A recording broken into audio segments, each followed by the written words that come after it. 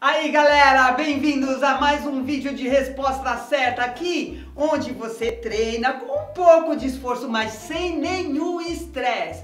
Hoje, uma questão sobre teoria musical. Veja aí, ó. Ah, não precisa fugir só porque eu falei teoria, tá? Fundamentos da linguagem musical, fica mais bonito. Tá aí, ó. Uma questão que envolve escalas, modos, conhecimento de intervalos. Dê uma olhadinha aí no seu vídeo no enunciado. Presta bem atenção. Prontos? Foi fácil essa, né? Então vamos lá.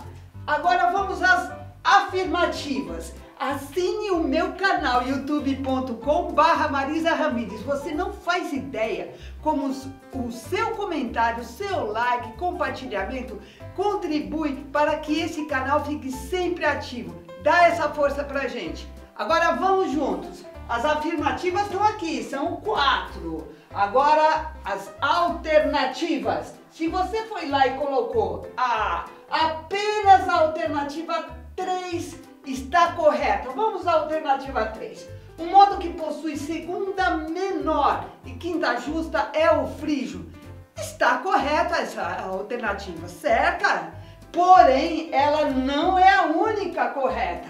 Portanto, se você marcou letra A, você dançou. Agora vamos para B. As alternativas 1, 2 e 3 estão corretas. Bom, a 3 a gente já sabe que está correta. Agora, as alternativas 1 e 2, uma delas não está correta. Veremos aí quais são as alternativas corretas agora. Então, essa aqui está fora. Alternativa 2 e 4 estão certas. Construção intervalar. Segunda maior, terça menor, quarta justa, quinta justa, sexta menor e sétima maior é a escala menor harmônica, tá certa? Tá certa, porque a harmônica tem a sétima nota alterada. Portanto, a resposta até agora correta é a 2 e a 3. Por quê? Porque a 1 um tá fora, gente. Quando você coloca Fá dobrado sustenido, você não está na escala menor antiga. Então, isso aqui está errado. Errado. Por causa dessa palavrinha.